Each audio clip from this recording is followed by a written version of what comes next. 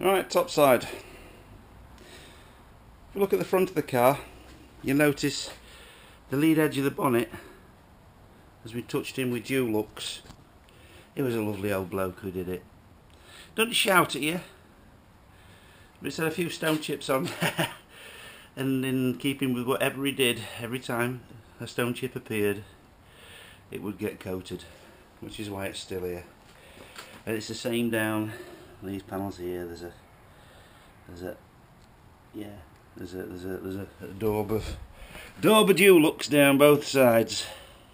But as have you seen on as if, as you have seen on the inside, yeah, it's uh, it's very very nice, uh, as they say.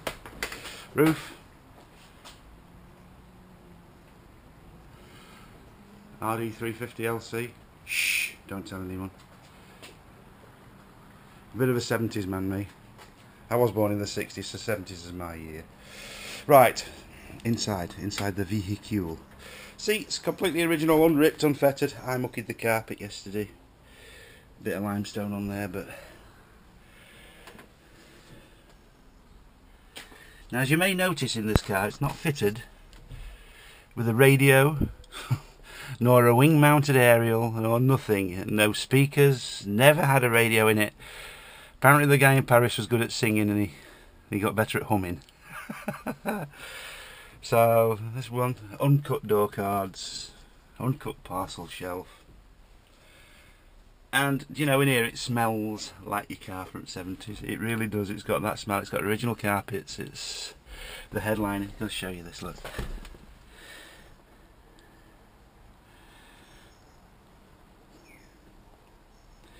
Now this is one of the cars I will, actually, I will, I regret selling it. Sills and door bottoms.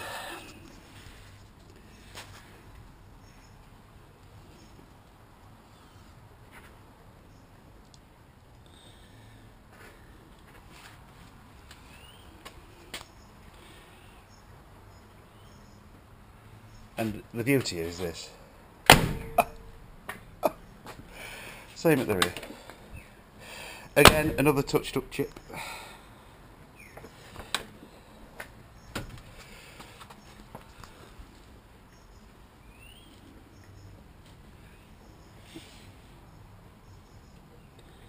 What were we doing wrong in, in England?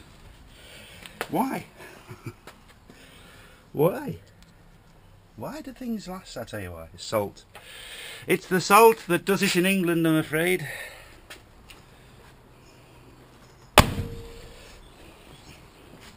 Chrome up bumpers as mint. Slight, tiny, tiny little bits of pitting. Not pitting, it's just the little dimples you get on chrome.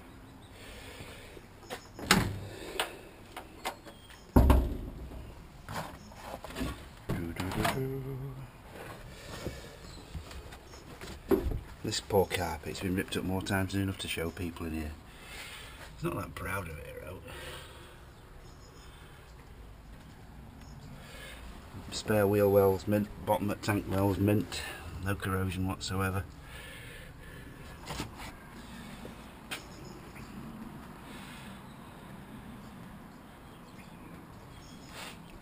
Time warper. She's a time warper, bless her. This side.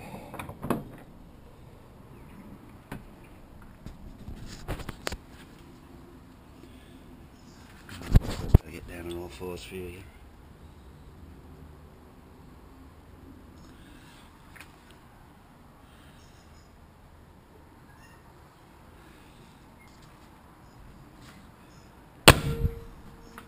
The spring closures really work on this door if you get your fingers caught in them. All the doors, they just they just got that way loveliness.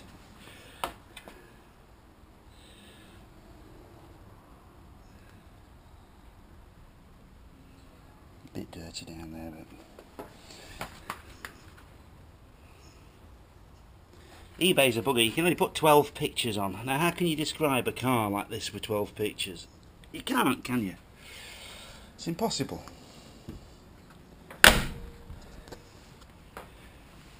It's on its original 12 inch rims and caps.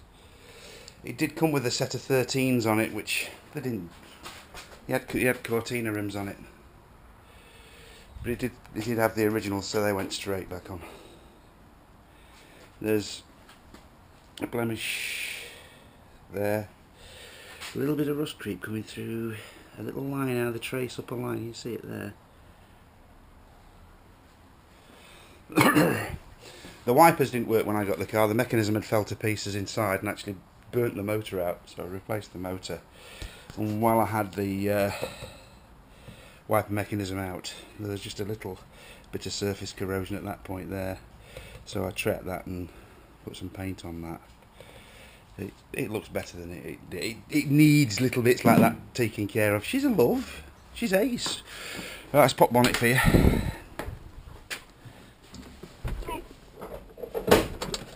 to laugh. See this little book?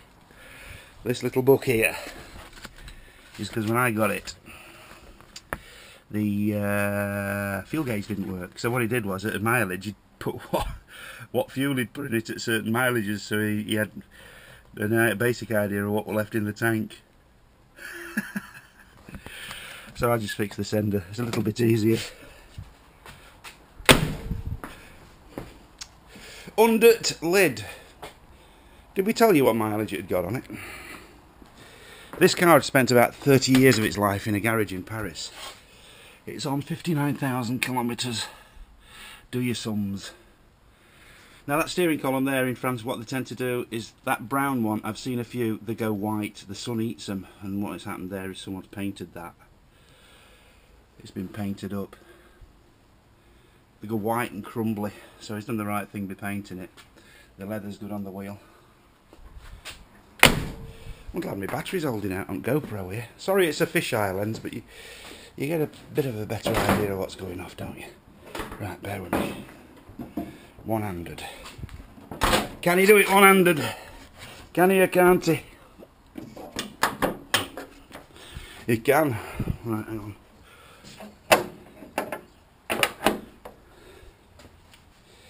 Eleven hundred crossflow. New battery, I put a Yuasa on it. There was no wrong with battery that were on it, but wing mounting rails, chassis number.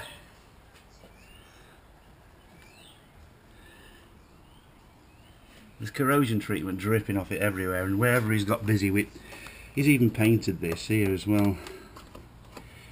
The original was underneath it all, just under mastic. This is a take your mum to church car. I think that's what it's been used for all its life.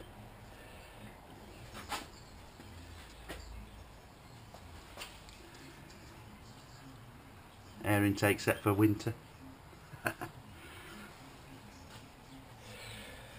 you might have noticed as well for an 1100 it's quite a rare animal. It's got servo brakes and discs on the front. There's new pads on the front as well. The car's well maintained in that respect.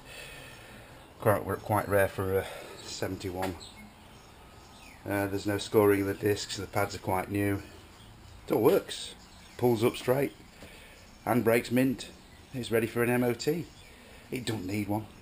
All the ball joints are good. All the all the everything's bang on. I mean, if someone's that bothered, I will take it for an MOT. But it's uh, yeah. There's naff all wrong with this one. Naff. Still on the dynamo. There was a recondition, they had the dynamo reconditioned in France. It charges well, it's putting now 14 volts in at speed. And the engine itself is fit as a fiddle. Right, I'm going to now endeavour. If you notice, look, it's it's also sh schultzed on the inside of the bonnet as well, with corrosion treatment dribbling out, dribbling out all over the place. Don't know what they call it in France. It's it's awful stuff to it off though, it leaches into everything. But if you notice it's run all, run all the way down the valance panel at the back. Slam panels Duluxed as well. But totally original and solid. Integral partially covering number. Yeah. Great. Booful.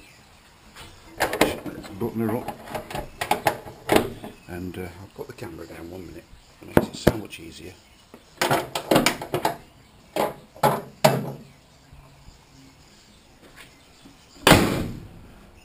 Ta-da! Right, I'm going to start the auction at six six grand. Um, I think she's worth every penny of that, and then beyond that, you guys can decide for yourselves. Um, I've been looking, and I can't find anything like it.